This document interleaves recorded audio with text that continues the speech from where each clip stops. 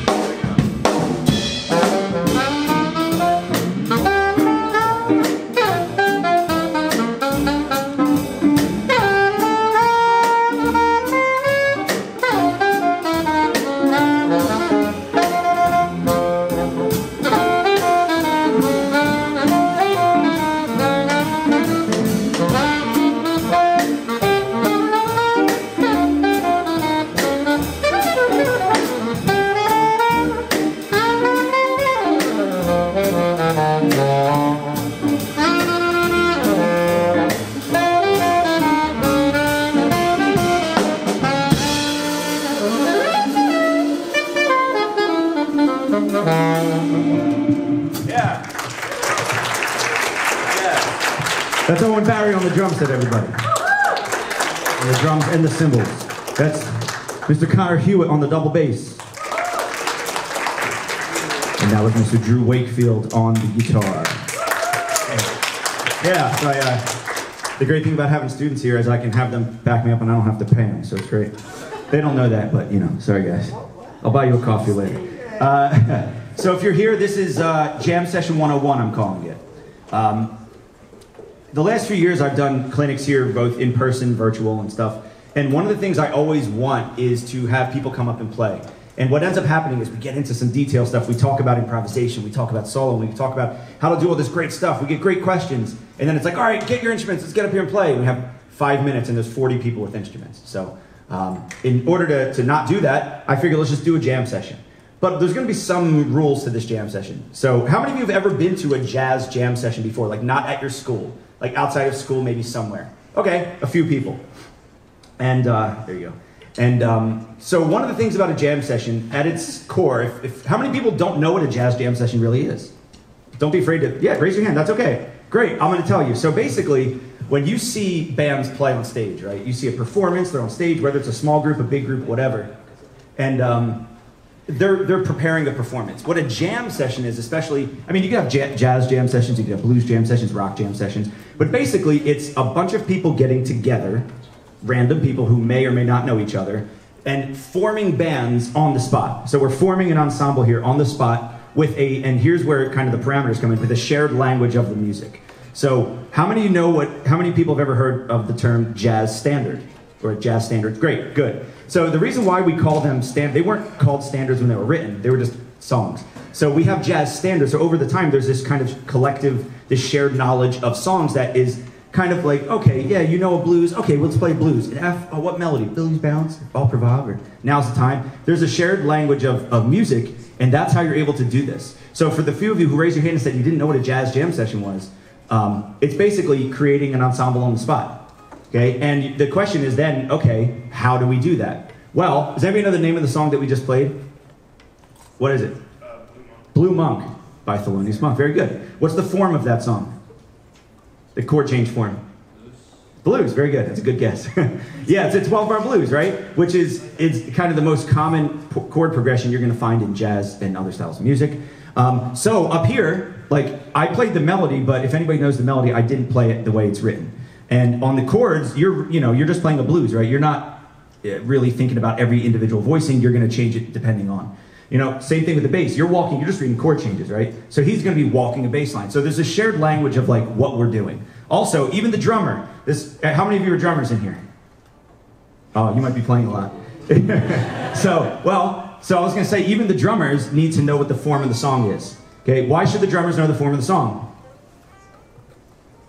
So they don't get lost. There you go. Very good. Yeah, it's a very it's, it's, a, it's a common thing, but a lot of people don't think about it. They go, oh, I know the tempo and the feel, I'm good. And then they're doing fills into bar, you know, seven when it should be into bar one or five or something. So um, that's the deal with that. So um, that's a quick overview of what a jam session is, how you put it together. I actually have a couple real books up here to help you guys out. So I have uh, one in B flat, one in E flat, uh, concert pitch uh, treble, and then a concert pitch bass clef. So if you play some of these instruments, read off the sheet if you don't know the tune. Um, one of the other things I wanted to do up here today is also talk about etiquette at a jam session. If you ever go out to a, a jam session in your lives, there's certain etiquette to go through, right? So if right now I said, all right, let's go, everybody come up. Everybody's gonna run up here and it's gonna be chaos. So we're gonna kind of like, I'm gonna do a little bit of managing here. I see a lot of saxophones.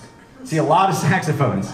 Okay, it scares me a bit. A lot of sax. How many people in here have an instrument that's not a saxophone that they're ready to play? What do you got? Flute? What do you, what are you guys doing? I told you not to come here. Trumpet, cool. What do we got? What instrument is that? Trumpet. Very cool. Okay, so at certain jam sessions, you might have a sign up when you walk in, and you'll put your name and your instrument. And if I did that, what I would do right now is I would take the sign up sheet and I'd say, ooh, let's get, and I would pick maybe a few saxophones, a trumpet, and two, whatever, uh, rhythm section players, and then we'd go on. So for now, what I'm gonna say is, who would like to play the next song? And no, I'm not telling you what the next song is. Who would like to play it though? Great. Great, come on up. Everybody raise your hand came up. It wasn't that many of you. This isn't strategic. You can play more than one too. So like, do we have any rhythm section players in here? Keyboard, great. Yeah, we don't have anybody on keyboard right now. Use uh, this one. Use this one. You're good. Okay. Well, you got an arm wrestle or something for it. I don't know. Uh, no, this one. This one. That one's not plugged in. Yeah, you can take the bench for it. Cool. All right. So what do we got? We got a trumpet. We got an alto. We got a tenor. We got no bass players in here. Oh, you want to? Charlie, come on, Let's go. Sorry, you got kicked off. Got it. Are you here till? Are you free till when? Perfect. Great. Make your mom do dirty work for you. Love it. okay. Now, here's my favorite part of every jam session. All right, what see you guys want to play? Let's play blues. Let's play something else. Hold on. All of me? Who gets? To? Would you say 26 too? No. Of course I don't. So I have, I have, I have sheets here. Where- There's a B flat book. You need it. What are we playing? All of me? Do you know? No, but I can, I can So change great. See if it's see if it's in the book. All of me. Let's see if it's in there. So, as you guys are noticing, this is kind of how it works. You literally get up there and say, "What do we? What do you want to play?" Somebody said, "Ugetsu," the drummer. It's a really cool tune. Not the, not not the best for this situation, I think. Uh, Charlie said, "What did you say? 26 too?" Just you know, that, that's muted now, right? Okay. Yeah, yeah. Okay. Yeah, yeah. Um, so that's yeah, not for this. So all of me. How many people know the song "All of Me"? You might know it when we're after you here. Great. Are we doing it? Awesome. Ooh, take news. Love it. I mean, you have to. Is it major? Concert C major? Yes, yeah. Wait, wait, wait. So you play first two, we play. No, thank you, Carol. You're free to go. So, literally, this is kind of what I want it to be. I want it to be a jam session. I'm going to give you like a play-by-play. So right now, I think they're figuring out who's playing the melody where. Because if you get nine people up here, just hearing the melody in unison, because remember, these are not charts written out like your band would. There's not like a second trumpet part or a third. There's not second tenor. It's just the melody in a certain key. Okay? Figured it out. Usually, see, singing it. Very good. Like that. You get an A in jam session. and then you the list. A grade means nothing, but you know, it's there. Are we ready? Now, are we starting right on it? Yeah? Great. You guys got it? Count it off. One, two, one, two. Thank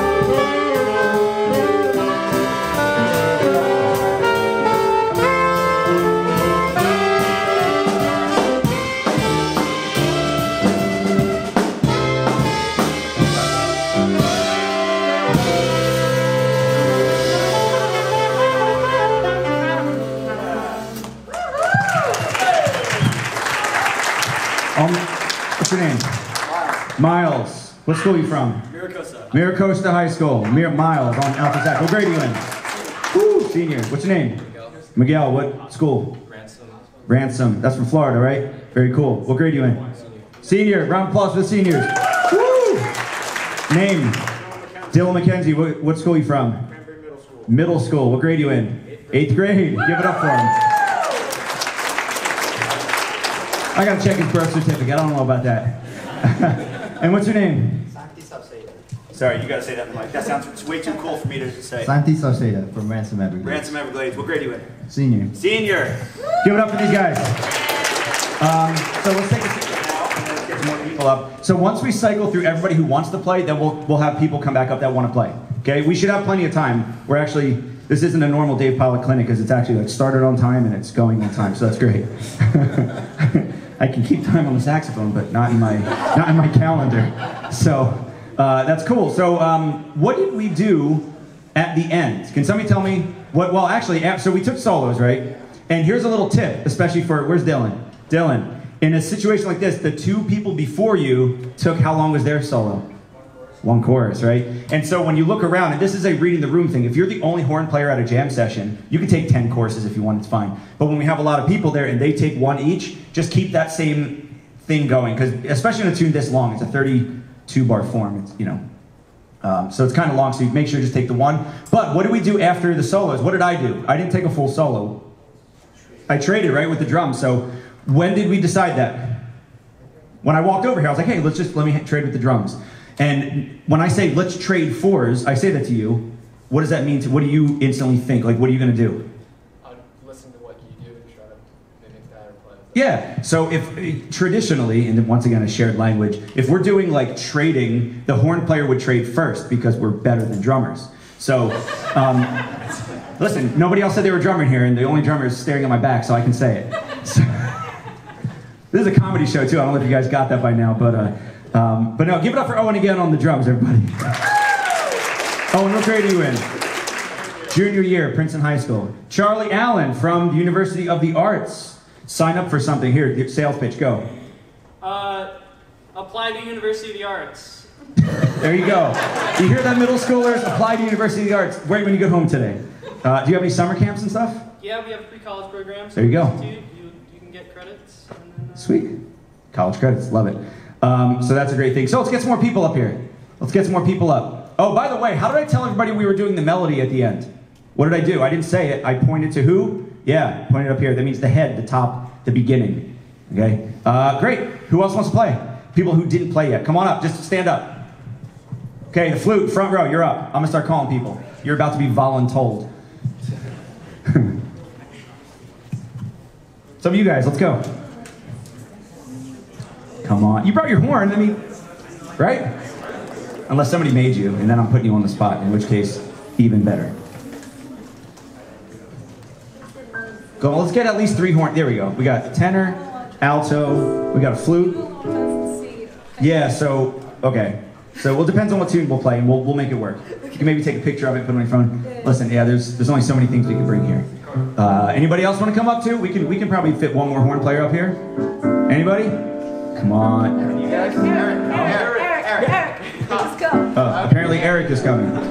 Eric, Eric. Listen, when, when fans are calling for you to play, listen, here's, here's, here's the issue. If they go, hey man, uh, put that horn away. We don't want to hear it anymore. That's the issue. If they want you to play, it's a good thing.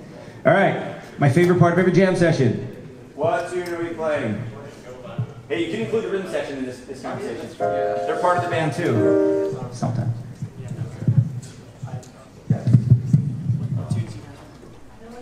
Oh,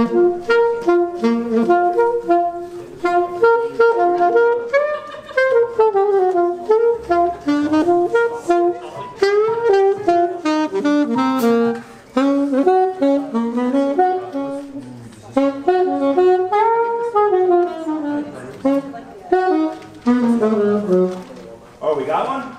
What do we settle on? Softly and It's the what version? Okay. Did anybody know it? You guys don't know it? I know it. You guys know by heart? Is it Napa either? Wait, it's not this one? Got the phone. Uh, ready to get the phone?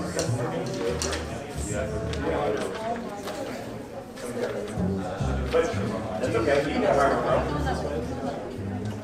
Soft. It, oh, it's not in this book. right? Do you have, do you have eyebrow sharpener? Do you have chords? No, don't worry about it. Pick different two. Oh, you do? You want to, want to put it over here? So who knows the melody? I know. You got the melody? Chord, you know. Let there-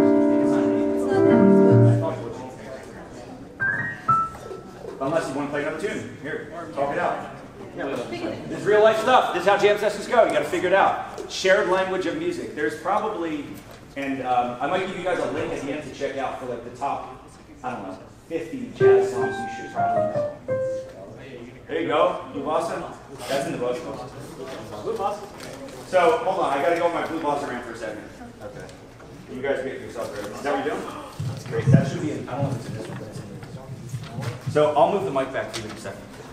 So, how many people know the song Blue Bossa? Right? Okay, it gets a lot of hate for no reason. Um, because it is one of the first songs that people learn uh, when they're learning jazz. It's the first bossa nova that people I would always recommend. It's either that and then like Recordame. But Blue Bossa is a little more uh, approachable, I think. You got it? Oh, look at that. Nice. Technology. Um, so, jam sessions, traditionally, if anybody's heard about like the cutting sessions of the past, they used to be like cut through, like so you can play the most licks, so you can do this. Um, I'm telling you right now, in the real world of jam sessions, if, if you go in with the idea of like, I'm gonna be, I'm gonna show everybody what I got, I'm gonna play all my stuff, everybody's gonna know that, and they're instantly gonna kind of like, uh, you know, think of you differently. Instead, you can still play all your cool stuff, but here's the most important thing making music.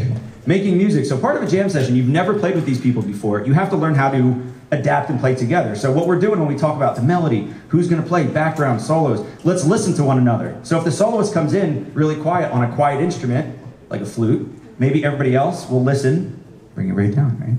So, uh, we ready? Is it in the book? Check the table. of contents. Oh, you're just searching for other stuff. Great. So you got it?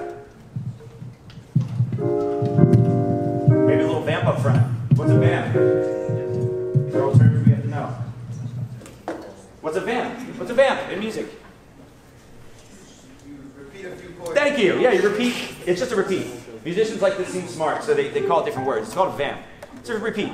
So here's where we're gonna vamp. You ready? I'm gonna I'm gonna take the lead on the rhythm section here. C minor for two bars, D half diminished, G7. Okay? You got that? Okay. Let's try that. Here we go.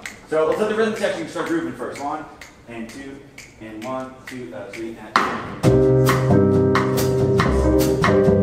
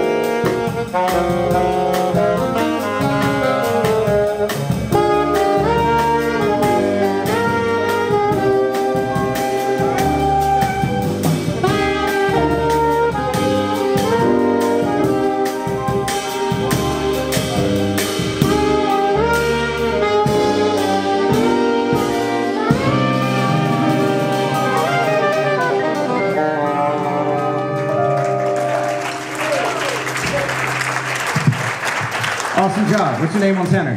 What name? You got to give me name, school, uh, grade, just so we all, you know. No. St. Paul Albemarle High School 10th grade. There we go. Give it up for him. Go. Sean, Albemarle High School, 11th grade. There we go. Eric, same school, uh, 11th grade. Let me guess. From the outfit, I think. Uh, Alexis, same school, senior. yeah. Wait a minute. Wait, wait, wait. Hold on. I thought flutes don't play jazz. I thought it's only for saxophones and trombones and trumpets. Listen, if we let trombone players play jazz, we have to let flute players play jazz. Come on now. Everybody's catching it today. Any trombone players in here? Oh, sorry about that. No, I'm not. What's your name on piano? Uh, Jordan, Bethel High School, 10th grade. Bethel High School, 10th grade. Jordan, give it up. Why don't I get a fan club like that? Just follow me around playing. That's awesome. Jeez, that's great. Okay, so what did, uh, I, we did it last song, but we did it here too. I said real quick, I said repeat the last four bars. What is that called at the end when you kind of repeat the last phrase at the end of the last melody maybe a couple times? What's it called?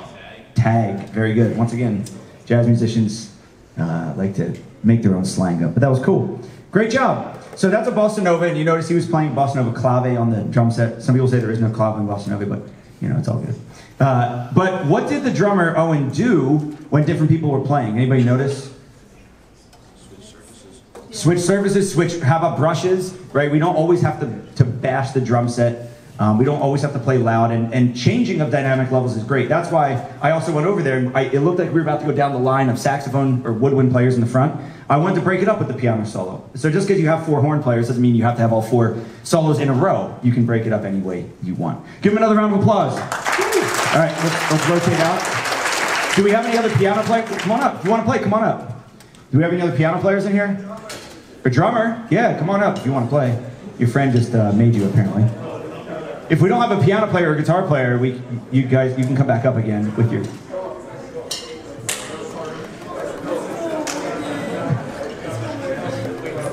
Bye, cram buddies.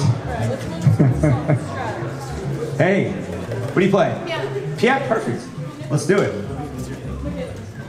Hey, look at this. What are they doing? I, if, if for some of you this is like, you know, I'm being a little uh, corny about it, but for some people, this is the first jam session they've ever seen, so they're introducing themselves. They don't know each other. We're going to figure out how to play together. Once again, the horn players are kind of just doing their own thing. They'll just make the rhythm section players do whatever they want. That's cool. I'm into it. Uh, yeah. So we have, there's a B flat. Yeah, you already arranged yourself. What, what are we playing? Take the A train. Take the A train. C, what key? C major? Always talk. Another tip. Yeah, this is like, this is what I want to do. I just want to run it and give you tips. Always talk in concert key. Okay? Always talk in concert key when you're playing with other musicians. Always concert key. I recommend if you're a sax or if you're if you're playing a transposing instrument, you play trumpet, you play clarinet, you play saxophone. I recommend learning to read and transpose concert key. I cannot tell you the amount of times that I've played on, especially small group gigs, where they say, "Oh, I only have charts in concert." Is that okay? My answer is always yes. It's totally fine. There's actually a point where I was reading so much concert pitch where I played in a big band and I was playing like lead alto or whatever, and I started transposing. And the band leader looks over me and he's like, What are you doing? I'm like, Oh crap, sorry.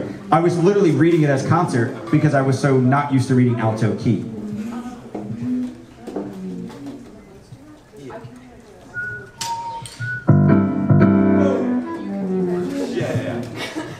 Forte. Again. No, no, you're good.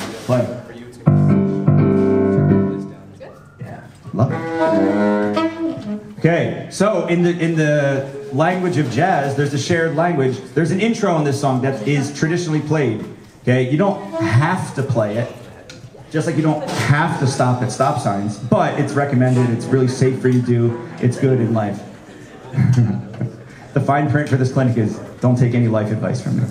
Um, but yes, you have to play this just like you have to stop at stop signs. Tip your waiters on the way out. Are we ready? Like one more second. One more second. Stall for a little bit longer. Stop. Do we have any questions? Question? Yeah, what's up? When someone's taking a solo, I guess etiquette of this world there, what should the other person do? That's a great question. For those who didn't hear, what is the etiquette of everybody who's not improvising at the time? Is it to go on your phone, like Texter Gordon, and just be texting and on your phone? No. Here's what I would recommend doing. If you're not going to be creating a background or playing something, stand off to the side and look at the soloist and enjoy the performance. The great thing about being a horn player at a jam session is you get to like sit back and relax. They have to play the whole time for the most part. They don't get to really enjoy it. But as a horn player, if she takes a solo on alto, we can sit back and like it, and you're you're allowed to be like, woo, yeah, woo, you know, you can react to it. That's a great thing to do. Is is just be part of the performance. Don't stand there the whole time waiting for your part to come in. One, two, three, four, one. You can do that. Also, one thing never to do. Here's a big, big red flag. Do not do this because people will be not as gracious as I'm about to be. If, so, if someone is playing, if we're doing it, don't try to figure stuff out in the background. Okay, that is definitely not good. In the background, like so, if, if you're soloing and you're like, oh, I gotta learn the changes. Okay, that works. That works. If you're trying to figure out a background line amongst the, amongst the three of you or whatever, that's cool. But you know, that time is over. So, are we ready? Great. Who's taking the lead up here? Who's counting it in? Yeah. I love it.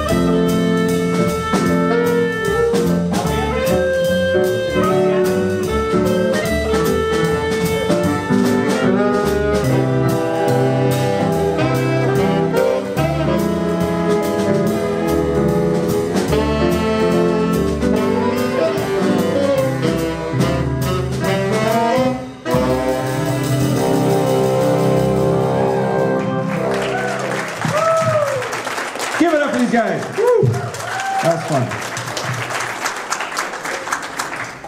Name, school, grade, go. I'm Levine, I play 10th and 11th grade, and I play, I go to Auburn High Great. Round of applause. Next up, I'm Morgan. I play tenor and clarinet, and I go to Marietta High School. what'd you play first? Tenor or clarinet? Clarinet. Yeah. Good tip out there. If you play clarinet and then switch to saxophone, you're going to be really good at saxophone because clarinet is super hard compared to saxophone. Way harder. If any saxophone players ever complain about their instruments hard, they're lying. It's the easiest wind instrument to play. Oh, yeah. sorry, guys. It, it just is. Play clarinet. That thing is tough. Round of applause right over there. The big bari sax. Uh, I'm Michaela. I play bari, sax, bass, clarinet, and I go to Miracle High School and I'm in 11th grade. There you go. Round of applause. I love, I gotta say, sorry to jump in, but uh, the fact that so many of you guys are doubling is awesome. Did your teacher make you do that? Was that an outside of school thing or We kind of kind of have For to? our songs for the concert, we're all double. Yeah. We have our alto player playing English horn, so. What did he do to deserve that? That's a hard instrument. You're playing that? No. Jeez. Man. Goes right in the fireplace after that. Here we go. I'm just kidding. Just kidding. To a fan. The, uh, the English Horn Society is going to cancel me now, so it's fine. All seven of them. Go. I These guys are like play that, you know. uh, alto, flute, and clarinet, and some others. Drums and trombone and sousaphone and round of applause. What's that? Uh, yeah. Oh, cool. Like fifth year going. Oh, awesome. I'm Sophia. I'm in 11th grade. I go to Ransom, uh, Ransom Everglades School, and I play piano. Awesome. Round of applause. And all the drums and the cymbals. I'm uh, Griffin. I'm in 11th grade, and I also go to Grand Rapids Griffin, round of applause. Yeah. So one thing we did, we did something different that time. What was I doing with the horns? What did we get together and kind of do during that drum solo? By the way, they had no idea we were going to do that. We did it today. What did we do? We did some what? Some hits, some backgrounds. Yeah. So I basically told them, all right, we're going to play quarter notes. If I say one, do one will be one. Two, we'll do two. And uh, it's however the, the spirit strikes me during the drum solo is, is how we do that. So that's something you guys could do. You don't always have to think of like, all right, a background line has to be this complicated thing. It could just be hits, right? I, I request all of you uh, to leave here today and go search up, if you don't know Tim Green or Antonio Hart, two alto saxophone players, search up Eternal Triangle on YouTube. It's my favorite, I think it might be my favorite video on the internet. And they're playing it at like 9 million beats a minute. But during uh, Tim Green's solo, you see Antonio Hart, the other alto player, start talking to the rhythm section. And they're like lockstep with these backgrounds. He's like, one, four, and it's like perfect. And it's, it's the greatest example of like playing together in a jam type situation. Very cool. All right, uh, next up, thank you guys so much. Thank you. Another round of applause for them. Great job. Great job. Well, who do we have? What do you want to play? We got time for one more. What time is your warm-up? What time is their warm-up time? No, no, not like 12:45. Okay. All right. So it looks like we have 10 minutes, so we can either make that two shorter ones, or we can do one Mondo Jam, one mega big one. I say mega big one. Let's get chaotic. If you want to play, this is your chance. Come on up. Thank you guys for coming. Hope you learned something. Tip your waiters on the way out. Bueller. Bueller. Thanks for coming to the comedy show. See, you guys get it. You know. Everybody else is like, thank you. I need that positive reinforcement. Right, Ani? Yes. Come on up. Let's get this crazy. Yeah, there we go. Only purple. T- oh, you don't have a purple tie. Sorry, you can't come up. It's like the whole band is here. Did your teacher make you come to this? No, we get choose whoever wants it. Oh, we just have to eat You the big saw I had ones. sax in my hand? So, Great.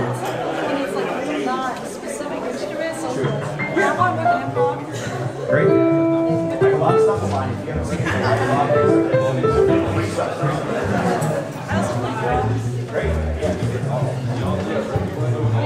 Hey, you guys in the back, you haven't played yet? you don't want to? Why do you have your horn?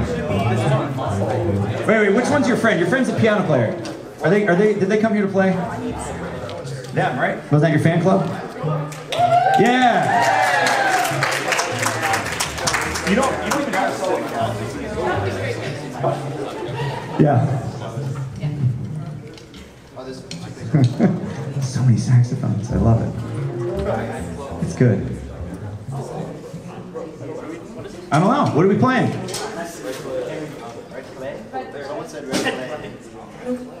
That might not be the most best choice for this right now. Maybe, maybe not. Can we let's let's play something swinging. Let's get something with the energy because with this many people, it's gonna kind of Cherokee. Uh, I don't know. Let's pick something in like a regular key. What about? But you guys just really want to play that tune? Does everybody else want to play it, or is it just a few people? Just, just a couple people. What do you think, Charlie? What are you feeling? I was gonna suggest moments notice, No, no, no, no, not moments notice. not for this. Too hip for the room. Shh. what do you think? Something swing that stays in a regular key. No, no, no, no. We gotta. What about what about all the things you or what about autumn? For Alice? Blues for Alice, perfect. F blues. We love blues. We're trying to get everybody in on this. So now it's bird blues changes, which are going to be a little trickier, but the blues still work. So right now, a normal blues is how many bars? 12. But blues for Alice is how many? 12. Yeah, trick question. We don't have it. You don't have it in there? Well, these are all different ones. Uh, Oh, you're back. Cool. We can do the most jam tune of all time and play Sonnymoon for two. What about Sandu? Sandu? E flat blues. Try and make sure everybody's in. It's the hardest part of the jam session. I've been to jam sessions where like the song is 10 minutes and there's like 15 minutes in between. Like, the song is 20 minutes and there's like 10 minutes in between. Usually there aren't quite this many people left. What are we doing here? Which one? San- You guys have Sandu? Is it- Did you check the table contents? I don't even know if it's in the book, that's what I'm asking. really long into this. S. That's not in here. That's the problem. Is that in there? It's not in, yeah, If you don't have Jordan, we can do four. it's not in the regular, regular. It's not. Yep, that's one. How many of you know the melody to Sandu? No one? Or maybe just play it by you. You ready? Okay, hold on, pause. Put it this way, this is a good teachable moment. You ready? I'm gonna, I'm gonna make an executive decision here with, for time purposes, because the next group in here starts in five minutes. We're, I'm gonna teach you a melody on the spot. This is straight jam session. If you know your concert B flat minor pentatonic, concert B flat minor pentatonic. So on saxophone, G, B flat, C, D, F. On flute and rhythm uh, section, B flat, D flat, E flat, F, A flat. It's basically a B flat blues without the sharp four. Tenors, C, E flat, F, G, B flat. The melody starts at the top though.